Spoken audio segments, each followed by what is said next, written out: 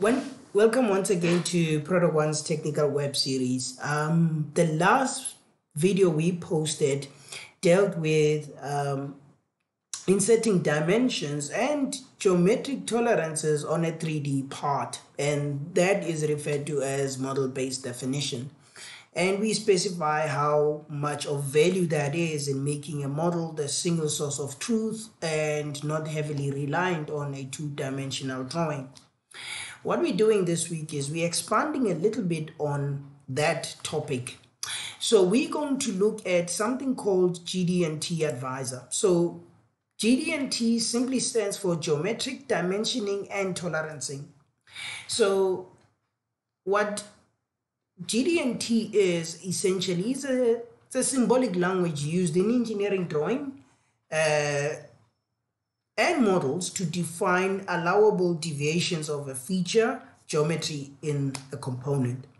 So now this language consists of dimensions, tolerances, symbols, definitions, rules, and conventions that can be used precisely to communicate the requirement, the functional requirements of a location, orientation, the size, and form of each feature of the design model.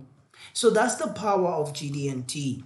So now the GD&T advisor basically walks you through e essentially putting what we call geometric tolerances. So let's go uh, into deep details of that. So if your license does have GD&T uh, in it, you just go application GD&T and it pre presents with you a whole lot of other tools that you can utilize.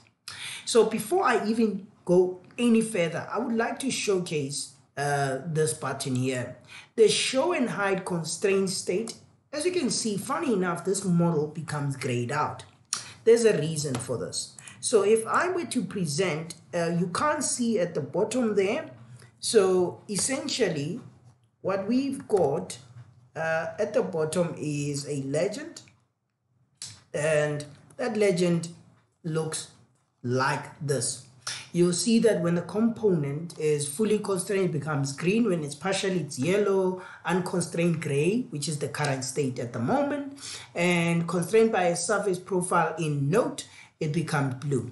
So why am I showing you this? Because our whole idea is to make this component to be either green and blue or green in totality. So how do you apply this? So the first thing you're going to do is you're going to specify a tolerance feature. You select, let's say, a surface in this instance, and immediately the system itself allows you to specify the tolerance scheme and it also walks you through the available geometric tolerances that are applicable based on your selection. What that means is, as you can see there, there's an asterisk next to one of these features. So it enables you, if I can zoom in, to say that the flatness is basically the allowable uh, selection here. You can obviously do a profile of a surface as well. However, you can't pick cylindricity, for an example, because it's not appropriate. So for somebody that has never used any geometric tolerances, this is a dream in a sense that you specify the deviation, and the system identifies that you need a primary datum feature here. And by just simply saying accept, I can now specify that geometric tolerance. I will go back into show model constraint and as you can see now that particular surface is green that means that if you remember that is now fully constrained. I will just specify the constraint of a shaft and just like before, it only highlights items that are applicable. So I can make that surface perpendicular uh, to the selected surface.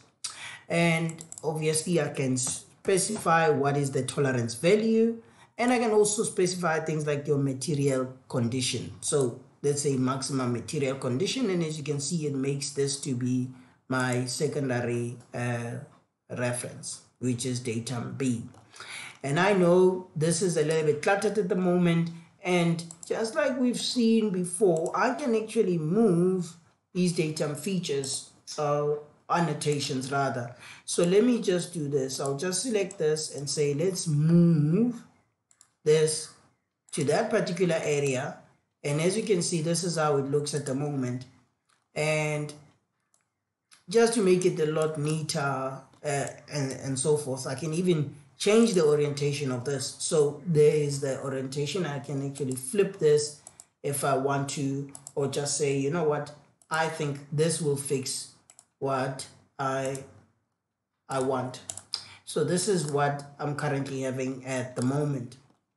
So of course you can move this to the other side if you want to as well. Right.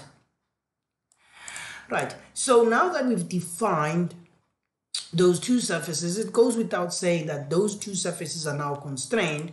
And just to finish this design off, I'll just pick that plane over there and I'll just quickly accept the default.